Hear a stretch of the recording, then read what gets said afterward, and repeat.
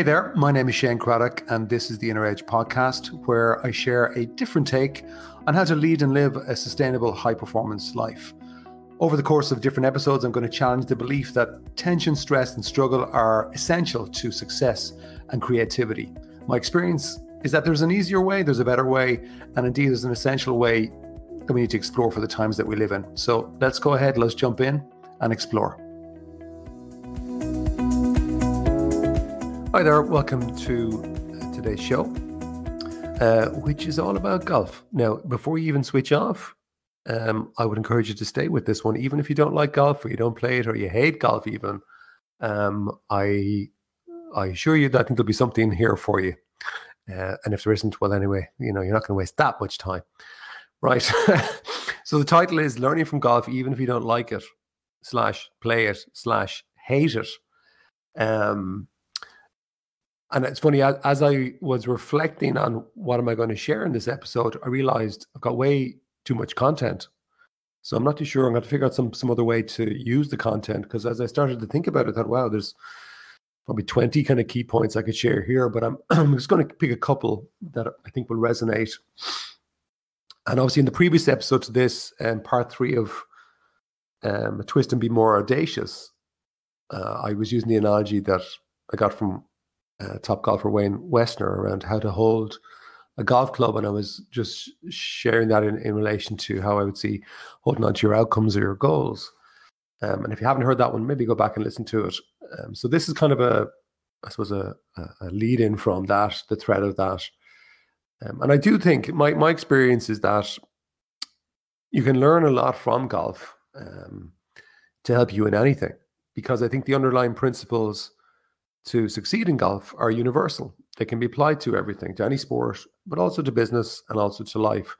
And there are obviously a lot of, I think, parallels and similarities, but there's also plenty of differences. You know, if you're running a business or a leader in a business, yeah, you could be inspired by certain things that we're going to share here. But obviously, in my view, business is a is a much more complex animal. Um, that there's a lot more to it, and there's a lot more. Uh, there's actually quite a lot of skill in business. Um, I think golf. Uh, I'm not going to even go down this rabbit hole now, but golf at least is quite linear in terms of what you have to focus on. Having said that, I suppose one of the key points to lead us into this episode is that golf does require a multi-dimensional approach. And what, what I mean by multi-dimensional is that the, the top golfers today, they focus on things that perhaps 20, 30 years ago wouldn't have been focused on more than perhaps a lot of sports people. So, for example, when I say multidimensional, I mean they focus on the physical in terms of their their exercise, their nutrition. Um, it's a, it's a key element for the top golfers in the world. Um, they also focus on their mind, so the mental side is one of the dimensions. Increasingly, also what you're seeing with golf is that they, that they will talk about managing their emotions. So their emotional side is another dimension. Um, you see this coming through also in business in terms of emotional intelligence or empathy or emotional quotient. And there's a fourth dimension also, which I believe you're going to hear um, over the next decade. Perhaps you'll see threads of it coming through. It's it's on the spirit side. And when I say spirit, I don't necessarily at all mean religious. I mean more to do with um, a deeper connection with themselves, almost the joie de vivre or vavavoom, or when somebody's up and connected and in the zone, there's this kind of a sense of spirit or flow about them. And that's a whole other conversation. But if the top golfers are focusing on those multi dimensions, why? It's because they want to get the edge. Um, so why wouldn't we? Why wouldn't you? No matter what you're in. And um, to, just to kind of go back a little bit in terms of explaining my own connection with golf, apart from growing up in a house where my dad was a obsessive golfer and a good golfer, I think he got down to maybe five or six handicap, and I would have caddied with dad for many years and was lucky enough as well to have met with him and go do a round of golf with Christy O'Connor Senior. Um, and as I've gone on, I don't. I used to play a reasonable amount of golf um, before I kind of got into into this kind of stuff, and then I stopped just more from a time point of view. But there was a period going back about uh, twenty years where myself and two others started a business, and we were training um, on the mind and also on nutrition. A lot of what I what I do today, perhaps uh, hopefully this doesn't sound egotistical, a little bit ahead of our time. But when we were trying to sell this workshop or program about mental fitness, this is back in 2000, 2001, and we're trying to sell it to business people, it just didn't get off the ground. It didn't sell. Um, there just wasn't any interest really or appetite for it. And then one of the guys, uh, one of the three, said, who, who, himself was an obsessive golfer, said, "Why don't we try this with golfers? I, I think it might work with golfers." So so we said we try and sell it to golfers. So the same people we went back and said, actually, we're doing this thing on golf. Bizarrely, it sold out really quickly, which I found fascinating. And it wasn't a G program at the time. Um, we kind of just rejigged a couple of things, but essentially it was 80% the same program structure, 80% the same content, and we just geared it towards golfers. And it worked really well. And I always remember towards the end of the program, one of the people there said to me, you know, I'm getting a lot out of this for my golf, but I've just realized something. I think a lot of this might work in my business life as well, and, even for me personally. What do you think? I just had to laugh because I, I, I told him the truth. I said, well, you know, that's what we designed it for. this is just a way in to kind of get us moving. Um, and actually, out of that came a meeting with Wayne Westner, and then that led to doing some work with some golfers. Um, and at one point, just being honest, I'll share it here. Uh, I had considered would I kind of explore the the golf and sports side more seriously, um, but in the end, I kind of felt more calling into business. But having said that, a lot of my clients of business uh, would very often ask me to, to work with somebody who you know uh, is in sport that they knew. So I've I've actually still worked with quite a few golfers, um, mostly at the kind of the top end of the amateur side um, and also some Gaelic footballers, hurlers, soccer players, runners. It's not my main thing, but I, am only saying this because to kind of assure you that I'm not just talking blindly from having read a book. It's it's actually based on on practical work. So I'll just share. I'll share. I'm sharing from that experience is what I'm saying. So the first thing I'm going to say before I come into one of the key points is what's your approach to life? Is it multidimensional or is it is it less than that? A lot of people only focus on one element of those four dimensions mental physical emotional and spiritual. Um, and again spiritual not not religious but where could you improve? And if the top sports people the top golfers are looking at those multidimensionals multi-dimensions to get an edge why wouldn't you? Why wouldn't you I thought I would take a little moment to um, highlight something that you may not be aware of, especially if you're new to these podcasts um, and maybe to some of what I do. That um, a few years ago, I, I, brought out a book called Inspire Me Life Wisdom to Pass On. And uh, it's a very uh, personal book, something that came from the heart, I think, more than anything else. Um, I, ever since my personal breakdown in my mid 20s, I have collected quotes as as a hobby. In fact, it was my mother who kind of inspired me to do it. I explained why in the book. But if you're interested, um, the book is available on on Amazon uh, uh internationally. Um, and I think if you're looking for something that's easy to dip in and out of, it kind of is designed to be read. Each of the nuggets are designed to be read in kind of less than 60 seconds. And the way the book is structured, there are, um, I think it's 10 chapters with kind of 10 kind of key points in each chapter. Each chapter is a different area of life um, and also business and health and things like that, and my perspective on it. But what I've always loved about quotes is that, you know, they can be quite inspiring. But what I also used to observe for myself and for the people was that you might, somebody might, might, might rattle off a quote, but not be living any of the wisdom of the quote. And so I became fascinated with that. And that's kind of what started me on the journey of writing my weekly email, which is also called Inspire Me, which was the seeds really for what has become the book. I'm still writing, obviously, the weekly email now. I don't know, it 12 years later? We started, I think it's 2008, so 13 years later.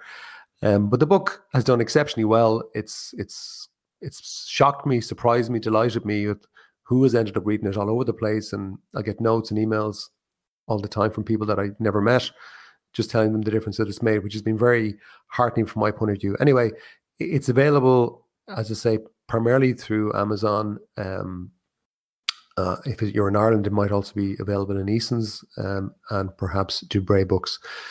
Um, so, Inspire Me by Shane Cradock is the book. And uh, yeah, that's it. Back to the show. Um, so, one of the key things I wanted to share from my own reflection here for this episode is peak performance or optimal performance or whatever you want to call it lives in the zone of a still mind in golf, a calm mind. And obviously that's very true in any context. That peak performance lives in the zone of a calm mind. Um, and I, I, recall working with somebody who was a very talented golfer, um, a top amateur golfer. And I'd been asked just to have a chat with them because they were getting a reputation in their mind and with somebody who was helping them around choking. And choking is one of those words in golf you just don't want to hear. Uh, it's choking under pressure, choking when you kind of get into the final few holes to win a tournament. Um, and it can happen to the best of the best. And when we got into this conversation, it was very clear that he was kind of psyching himself out of out of his own performance. And again, I think that can be very true um, in in business or in life, particularly in business, though. And so I'm going to use three kind of categories here: past, present, and future, maybe to kind of explain and hopefully highlight the points I'm talking about.